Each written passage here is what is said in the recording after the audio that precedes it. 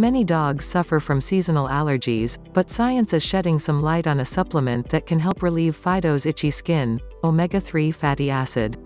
Thousands of dogs suffer from atopic dermatitis, a skin condition often linked to pollens, molds and other environmental allergens, especially during the warmer months of the year. Left untreated, this minor skin condition can lead to major infections due to itching, scratching and open wounds, so it's important to treat dermatitis at its source. Fortunately, science is shedding some light on how we can help our canine companions combat this inflammatory skin condition. Pet food has come a long way in recent years, but most dogs still don't get the omega-3 fatty acids they need through their diets.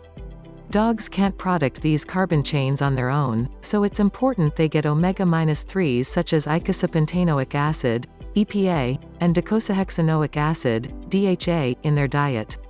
Pets deficient in these unsaturated fats have been found to experience more frequent sensitivity to allergens, leading to excess itching. By supporting your pet's immune system, omega-3 helps combat allergic reactions, but not all omegas are created equal. Omega-3 comes from many sources including flaxseed oil, canola oil, walnut oil, and soybean oil, but this form of the molecule, called alpha-linolenic acid or ALA, is not readily usable by dogs' bodies. Instead, it's much more efficient to provide pets with omega-3 in the form of EPA and DHA, found primarily in cold water fish such as salmon and some types of algae. Another source of these readily available omega-3 fatty acids is krill, a tiny sea creature. Krill oil has the benefit of being environmentally sustainable, as it's lower on the food chain than fish, and lower levels of toxins that can bioaccumulate further up the food chain. There are, of course, hangups no matter what type of omega-3 supplement you chose. The dose of omega-3 needed to treat health conditions in dogs has not been established with any degree of certainty, so choosing the right dose for your pet can be a guessing game at best.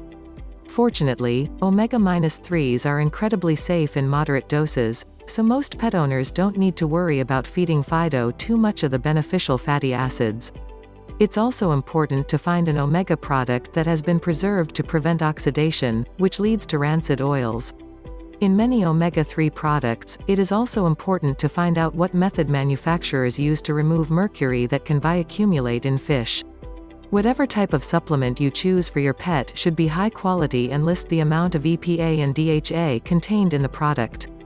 There is still significant research required to establish the best way to treat your dog's dermatitis with omega-3s.